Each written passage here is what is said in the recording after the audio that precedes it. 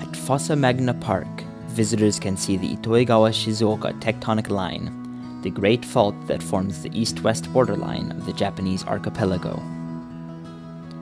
Rocks and earth from different eras meet at this fault, with 16 million year old rocks on the right side and 400 million year old rocks on the left.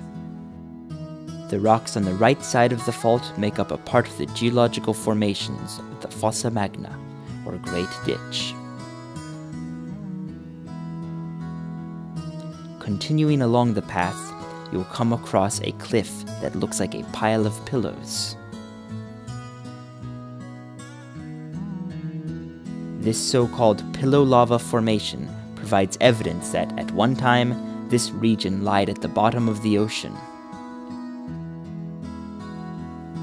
Fossa Magna Park is a place where you can witness firsthand the effects of the Earth's geological activity, learn from information panels, and gain a deeper understanding of the geopark.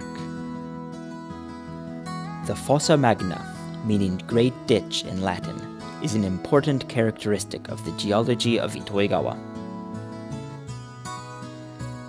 The Fossa Magna refers to the rift that formed during the creation of the Japanese archipelago. It is thought that rock and sediment of more recent eras collected in this rift, giving it the shape we see today.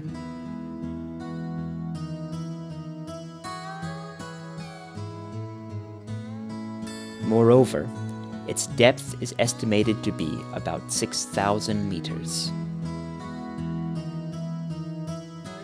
Officially known as the Matsumoto Highway, the Salt Road was a trade route that connected Itoigawa with Matsumoto in Shinshu, now known as Nagano Prefecture.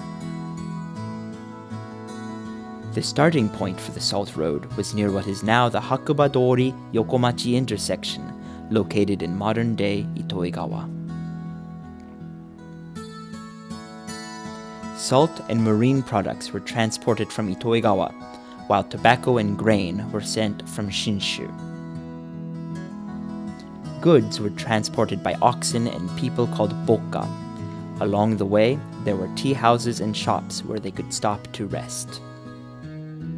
Just past the village of Ono, the mountain path begins.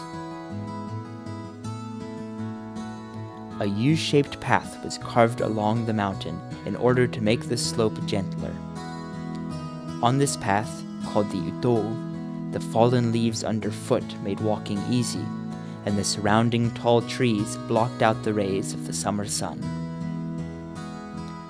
Today, the 5 kilometer section of the trail that begins from this rest area and crosses over Nakayama Pass to Nyodo has become a National Historic Landmark.